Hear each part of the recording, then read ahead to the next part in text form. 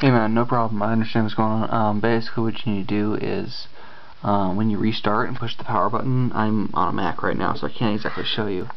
Um, but I, I, couldn't read your screen. Basically it says down the bottom when it first says HP or Compaq or whatever it says.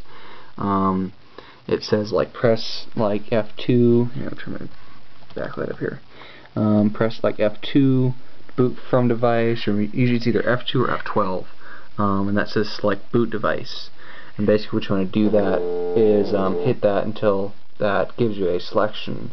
And then it'll pop up with a different menu that says please select boot device and you select your CD and then it'll boot up off the CD.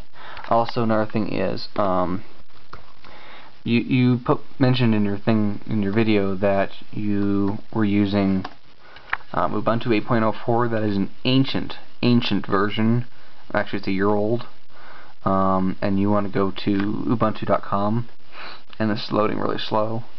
Um, ubuntu.com and downloaded the latest latest version which is 9.04 and for some reason the site's being really slow. Do you just want to go here? Yeah 8.04 I mean it'll still work but it's like a really old version. It's like Windows 2000 I mean it's not as old as that but it's still very old.